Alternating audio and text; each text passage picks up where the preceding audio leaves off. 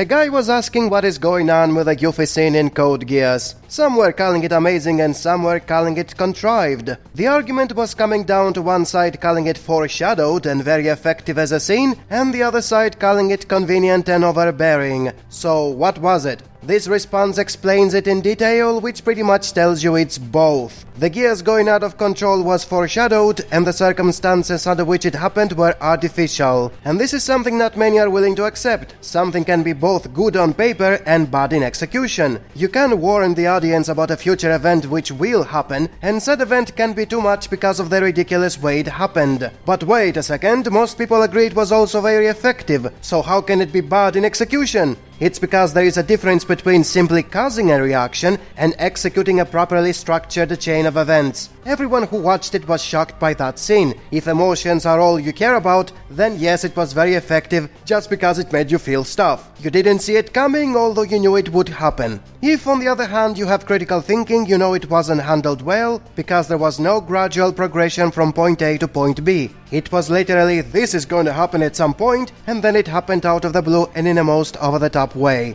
The twist in the last episodes of Tatami Galaxy, for example, is properly foreshadowed because you were constantly getting hints about it throughout the series. It wasn't mentioned once and then it happened. So, once again, foreshadowing versus contrivance is a simple case of dumb emotions versus superior logic. You clearly weren't paying attention.